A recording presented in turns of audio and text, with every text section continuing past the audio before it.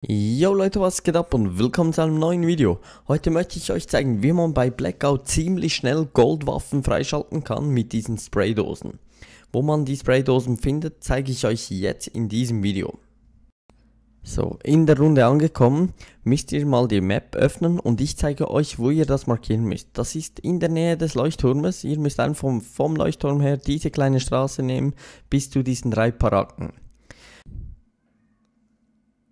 Wenn ihr jetzt gestartet seid, müsst ihr zu diesen drei Paraken gehen, das in der Mitte da, ihr müsst wirklich ziemlich schnell sein, weil da wollen jetzt auch richtig viele Leute hin und sich die Spraydosen abgreifen. Aber weil ich da gerade gestorben bin, zeige ich euch gerade noch einen Clip, wie man die wirklich holen kann. Und die sind wirklich zu 95% sind diese Spraydosen da. Also dieser Kessel. Der spawnt wirklich in fast jedem Spiel. Also ich habe sechs Spiele gemacht und in fünf Spielen war dieser Kessel da. Das heißt, ich habe 150 Spraydosen in circa 5 Minuten gemacht.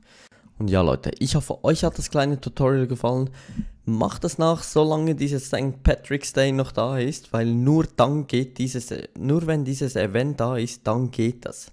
Und ja Leute, ich hoffe euch hat das Video gefallen. Lasst ein Like da, ein Abo würde mich freuen. Ihr könnt das Video auch gerne teilen mit euren Freunden. Und ja, man hört sich im neuen Video wieder. Bye bye.